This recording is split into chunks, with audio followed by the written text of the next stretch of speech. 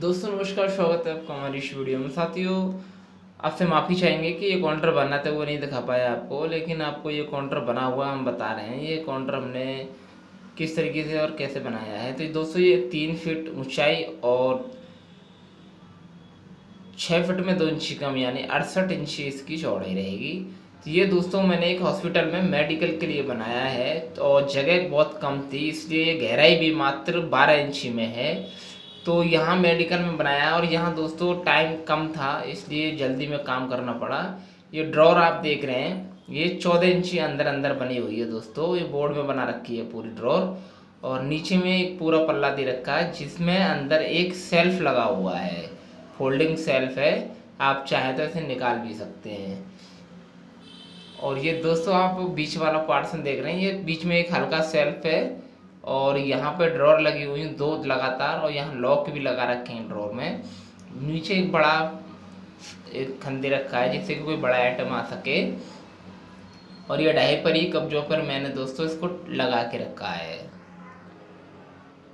तो दोस्तों, ये काउंटर की कहानी ऐसी है कि मैं बनाते हुए आपको इसलिए नहीं दिखा पाया क्योंकि ये हॉस्पिटल में काम हो रहा था और इतने शोर शराबा ज़्यादा था। ये कीपैड के लिए मैंने दोस्त बनाया है।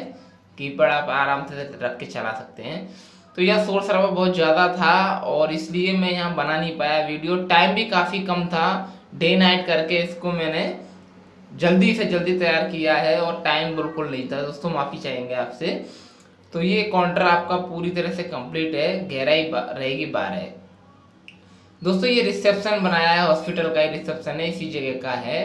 तो ये रिसेप्शन भी हमने साढ़े तीन हाइट बनाई है। और लंबाई जो है ये आठ फीट की है और उधर चौड़ाई जो आप देख रहे हैं वो पाँच फीट की है। तो ऊपर में जैसे कि आप ये देख रहे हैं, ये प्लाई बारह एम प्लाई में है। आधा इंची गैप में ग्रुप देकर ये हमने छत और सामने का बैक साइड बना दिया है दोस्तों।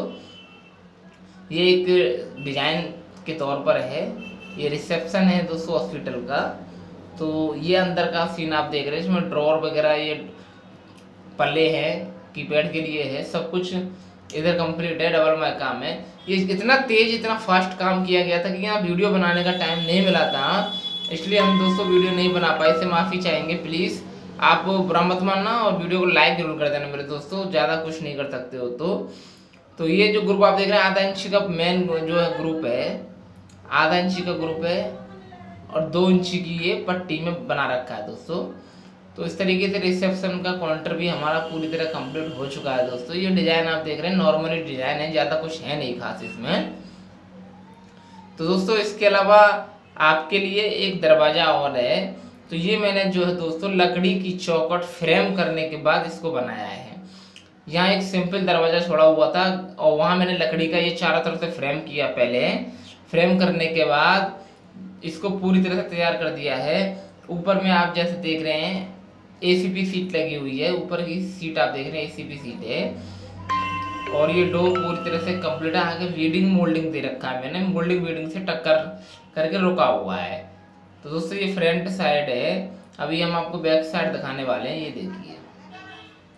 ये दोस्तों बैक साइड है, ये देखिए एसीपी सीट ऊपर लगी हुई है, पूरी कवर कर दिया मैंने। और नीचे ये दरवाज़ा पूरी तरह से कंप्लीट है, और लॉक भी दोस्तों हमने लगा रखा है। ये लॉक काफ़ी सिंपल है। और ज़्यादा कॉस्ट का लॉक नहीं है, ये मात्र ढाई सौ रुपये का लॉक या तीन सौ रुपये का लॉक मिल जाता है मार्केट में। इसे चटकनी इस्तेमाल भी कर सकते हैं, नीचे चटकनी के तौर पे, जैसे चटकनी हम लगा लेते हैं पीछे बैक साइड में तो उसके तौर पे भी इस्तेमाल कर सकते हैं, और चाबी का तो है ही है, आगे से लॉक कर सकते हो चाबी लगा के।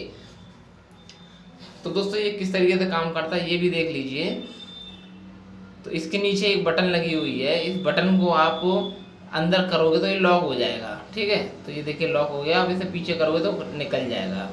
तो सिंगल बटन काम करती है नीचे वाली चटकनी के तौर पे। और ऊपर के जो लॉक है, वो चाबी से घूमेंगे। दो क्लिप आप देख रहे हैं। रॉड जो देख रहे हैं दो, वो चाबी द्वारा निकलेंगी। और ये चटकनी के तौर पर काम करेगी। ये ताला काफ़ी अच्छा और काफ़ी बढ़िया है।